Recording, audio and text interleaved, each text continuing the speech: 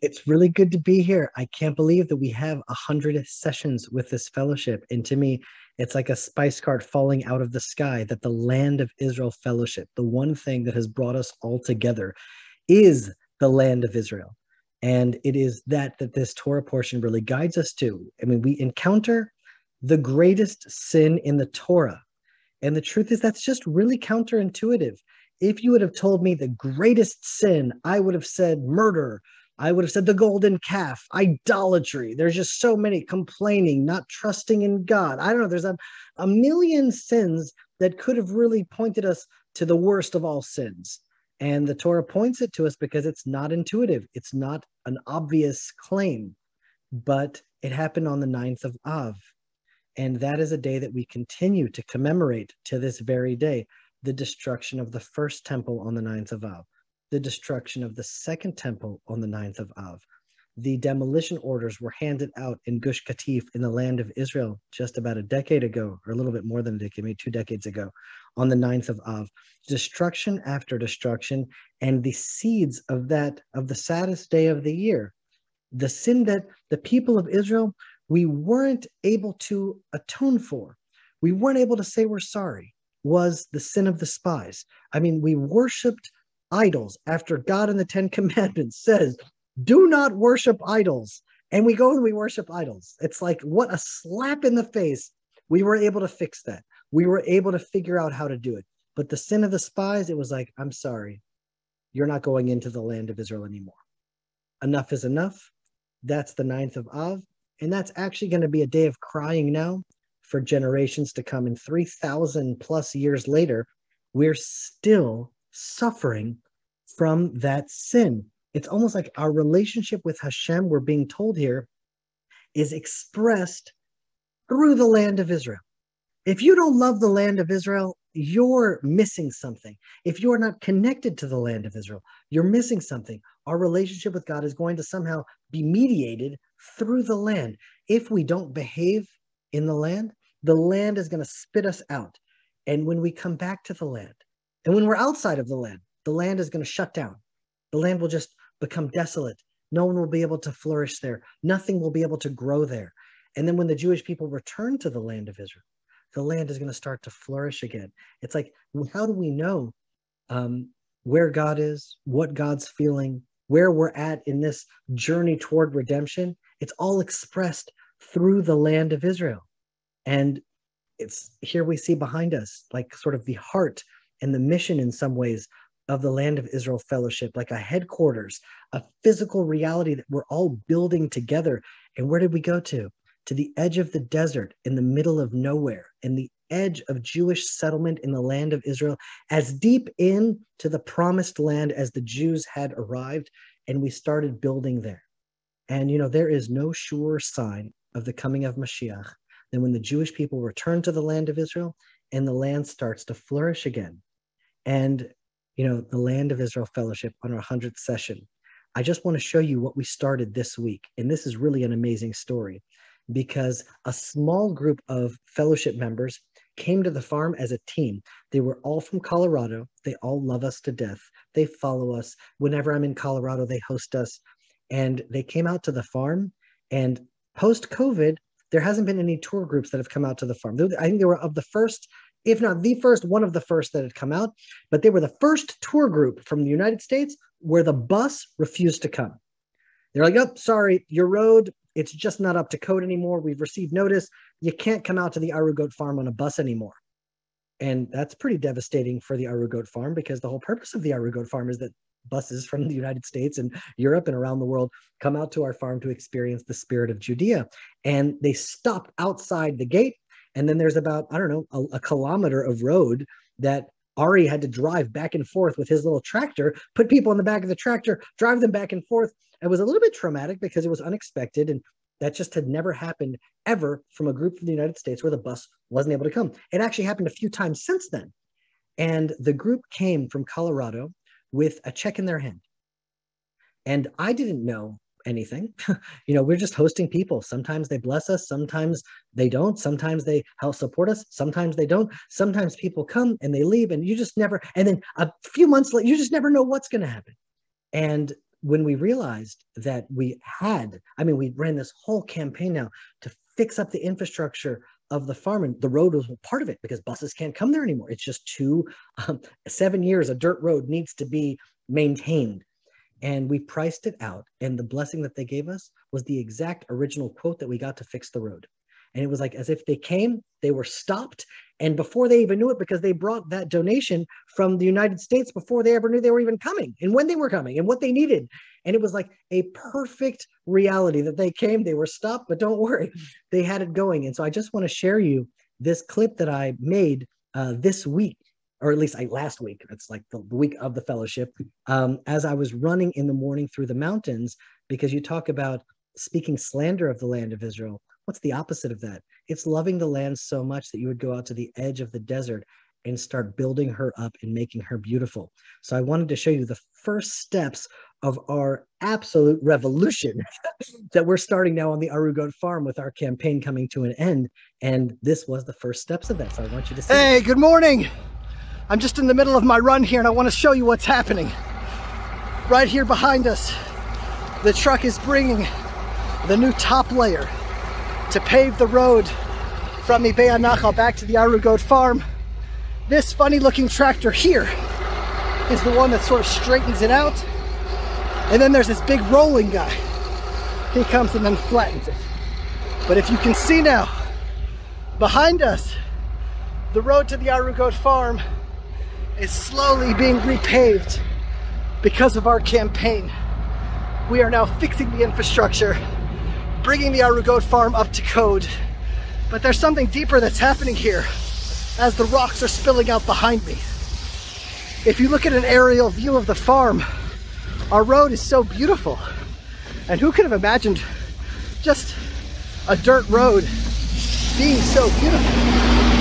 But somehow it's like a stroke of a painting. And really that's what we're building here on the Arugot farm a work of art. King David says, I am my prayer. He doesn't say, I have a life and then sometimes I pray. He's like, no, I am the prayer. And really that's what he's teaching us that our whole life could be a prayer to God. The life that we live, the things that we do, the family that we raise, the places that we build, all of this is our prayer. It's our work of art that at the end of our lives we'll present to our creator and look at the masterpiece from the unpaved desert roads to the newly paved road and the Arugot farm. And so in the mountains of Judea, we are quite literally constructing the crown, the diamond on the crown in the mountains of Judea. So thank you all so much as we are rebuilding the frontier with your help. Thank you anyway, I wanted you to see that that we just started. We're getting going now. We started now. I mean, it's just it's. I'm the truth is, I mean, I'm leaving this Saturday night or Sunday morning, depends how you look at it, uh, on a lecture tour to the United States. We're starting off. I think we're landing in Newark, and then we're crossing Pennsylvania, Ohio, Indiana, Colorado. I forgot the name of the states to, to Texas, and then we're going all the way back to Florida. My poor children are going to be dizzy by the end of that trip but um, I, am I'm, I'm a little bit uh, upset that I'm going to miss all of the. I'm going to come back to a new farm because we have so much planned. And my, my dream is that there is a center in Haifa called the Baha'i Gardens. And I don't know much about the Baha'i religion. I think that they very much respect the Bible, but there is just no reason the Arugot Farm should not rival the Baha'i Gardens. Like this mountain area here why can't we make this more beautiful than the Baha'i Gardens in Haifa? We should just make it an absolute masterpiece. And we're starting, we just started now. So thank you all for that. And could it have been in better timing than on Parashat Shlach? And I want to tell you this story because when we first moved out, Tehila and I, to the farm, um, her parents live in Efrat, which is a settlement about 15 minutes closer to Jerusalem than the Arugot farm. When we moved out to the Arugot farm, because we were the only family moving there, for my in-laws' sake, I might as well have moved to Afghanistan. That's what it was like. It was like, what? Hmm. Where are you going? Where are you taking my grandchildren? What's happening? It was just so out of the ordinary and so unheard of that we would leave this beautiful community in Neve Daniel to move out to the mountains. And I don't know why we love what we love, and I don't think that no one has ever figured out that mystery, but Hashem has put a love of the land of Israel in my heart. And somehow that same fire is in everyone's heart here in the Land of Israel Fellowship. And it is the thing that brings all the tribes of Israel together. It's the thing that brings all people together. It is where the temple will stand as a house of prayer for all nations. There is something about the land of Israel that has the ability to bring it all together. And here we are, all of us, building not only the most strategic area in Jewish settlement in the land of Israel, but the place where King David taught the world how to pray. And as we're building that road, that was the image that came to my mind. It's like another stroke, like a paintbrush on the mountain itself. Like this is our mark on the land, that we have a place in Israel that we're building together in such a holy mountain. And just what else could we ask for? That we have a global fellowship that learns Torah together, a global fellowship that prays together, and now a global fellowship that is quite literally building up the land of Israel and making her beautiful again. And on our 100th session, where we're taught the worst thing you can do is to speak poorly of the land of Israel. And here we are making her beautiful. If you want to know a trick, love what your friends love, and your friends will love you. Love what God loves, and God will love you. God loves the land of Israel. So if you love what God loves, it's a trick.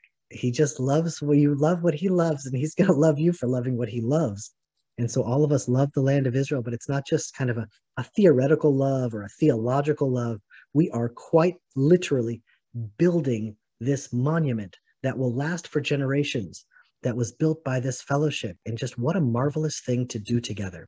And so I'm coming to the United States, and my mission is to meet as many members of this fellowship as I possibly can. That's the goal. And hopefully, we'll be able to spread the circle, gain more and more members of the fellowship. But really, I want to meet and spend time with as many people as we possibly can. And then, of course, to make the invitation, although you already know the Arugot farm is open. COVID is over and the Arugot farm is open for business. and so our gates are open and you are welcome anytime. We had our first members from the fellowship that came just just last time, just like last week. And it was just an absolute blessing, just a joy. And so that's we've built this in order to in some ways, um, just model our lives after Abraham and Sarah, that there should be a place that asks no questions. Wherever you're from, whatever your background, you want to come to the land of Israel and experience the mountains of King David, you are welcome always. And so soon we'll see you in the United States, and then even better, we'll see you in the Arugot farm, the new and improved Arugot farm after these summer renovations. So on this 100th session of our fellowship, I just can't think of a more beautiful way to celebrate than on the parsha of those who spoke ill of the land of Israel, for all of us to come together and make the land of Israel beautiful again. So thank you all so much. And I'll uh, next time we'll be broadcasting, it'll be from the other side of the world. Hi, my name is Jeremy Gimpel. A lot of people want to know exactly what the Land of Israel Fellowship is and what members receive when they join. So let me explain. The Land of Israel Fellowship is a global online community with hundreds of members from over 40 countries around the world. They're live sessions and gatherings that create a direct personal connection to the land of Israel and to lovers of Israel from around the world. There's no online gathering that I'm familiar with that is connected to the land of Israel that unites and brings together such a diverse group of people, backgrounds, and nationalities. It feels like prophecy. It feels like something we need in these times, like a window in to a better future on the horizon. There's a divine unity we experience every week in our fellowship broadcast. We heard these amazing teachings from an authentic Hebrew and Israel perspective, and our jaws drop. Not only because they ring so true and are such a blessing, because they are so consistent with what we believe. These Sunday morning gatherings are nothing less than a house of prayer for all nations. Cindy Lowe, the United States of America. The Land of Israel Fellowship is an amazing resource for learning Torah, the Bible, and the prophets, unfiltered and uncensored directly from the land of Israel. We've been studying Torah for almost 20 years, but we feel we are stepping into it more than ever and seeing new depth and dimensions to Scripture. We're encouraged more and more every week. Callan Ardell, USA. Members receive access to all the archives in the Library of Teachings on every portion of the Torah, the biblical feast, Hebrew prayer, prophecy, sessions on the ancient wisdom of the prophets of Israel to help us navigate through these turbulent times. These sessions are so rich. I re listen to each, and truly, each session is the best one yet. Tehila is a tremendous asset, and the teachings Ari shares are so rich. I've read the Bible so many times, and I've known the things you are teaching. The Hebrew understanding is what Christians have missed for centuries. Sister Georgian from Germany. The Land of Israel Fellowship is truly unique because it's built upon personal relationships with the teachers of the fellowship, myself, Rabbi Arya Abramowitz, and Tehila Gimpel. Every member has direct access to the staff 24 6 via email or direct WhatsApp to ask questions, to comment, to connect directly to all the teachers. And over the last years, we've connected to some of the most beautiful people on the planet. So if you want to find out more and join the Land of Israel Fellowship, you can click on the link below. And if you want to try it out for just a month, you can email fellowship at thelandofisrael.com and we'll hook you up. I hope to see you. Shalom from the mountains of Judea.